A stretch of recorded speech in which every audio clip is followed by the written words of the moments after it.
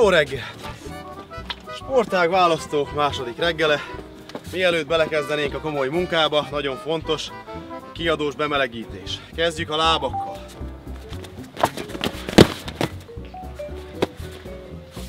A lambudóban minden technikát mindkét oldalra gyakorlunk, ne hagyjuk ki a másik lábat se.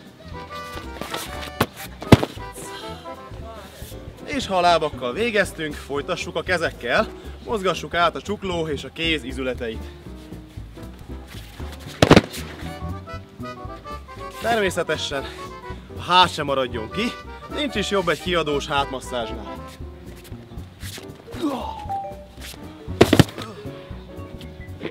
Végeztünk is, kezdhetjük a munkát.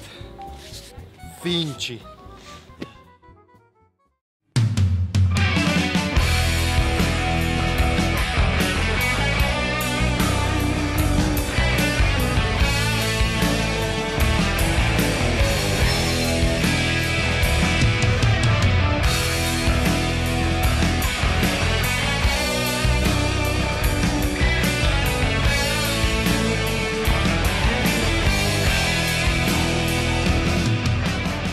A Nambudo egy japán tradíciókon alapuló, de modern, defenzív harcművészeti forma.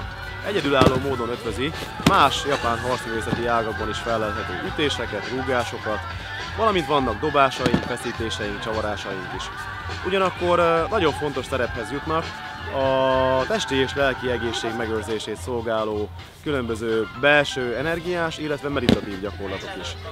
Maga az alapítómester Doshusoke Yashinao Nambu a természetet alapul véve alkotta meg a katák, azaz formagyakorlatok, illetve a kidóhók az egészségmegőrző gyakorlatok rendszerét. Harci technikáinkra jellemző a körkörösség, illetve az ellenfél energiájának felhasználása, elvezetése, ezáltal a gyengébbik nem képviselői, illetve az idősebb generáció tagjai is hatékonyan tudják alkalmazni a technikákat. A nambudót bárki, szinte bármilyen életkorban, illetve bármilyen fizikai kondícióval elkezdheti. Már akár 4-5 éves korban is megkezdhető a gyakorlás. Óvodáskorban, kisiskoláskorban az edzések még jellemzően sokkal több játékot és viszonylag kevesebb nambudó technikát tartalmaznak, de ez már elősegíti, hogy egyfajta előtanulmányuk megkezdődjön a nambudós karrierjük építése során. Kamaszoknál, kiskamaszoknál nyilvánvalóan ezek a technikák, illetve a koncentrációs képesség javulása akár segíthet is a problémás időszak átvészelésében. Magukon az edzéseken mi magunk is gyakran szembesülünk a saját korlátainkkal, amiket azonban kitartó gyakorlással, szorgalommal ki lehet tolni, illetve akár át is lehet lépni.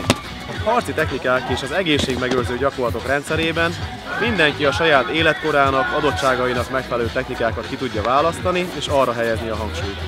A Nambudó edzések segítségével nem csak az állóképességünk, általános erőnlétünk, illetve izmaink rugalmassága fokozódik, de koncentrációs képességünket is javítja, egyfajta magabiztosságot, belső tartást ad a tanítványoknak. Az aktív meditáció segítségével pedig megerősíthetjük saját szándékainkat, így a hétköznapi életben is könnyebben boldogulunk az akadályainkkal. Egyes technikák könnyebbek, mások nehezebbek, ezek megítélése azonban egyénenként is változhat. Az azonban biztos, hogy az önvédelmi technikák hatékony elsajátításához több évnyi kitartó, szorgalmas munka szükséges, ezért semmiképpen nem ajánljuk, hogy valaki az első edzés után egy ott látott technikát rögtön az utcán éles helyzetben próbáljon alkalmazni.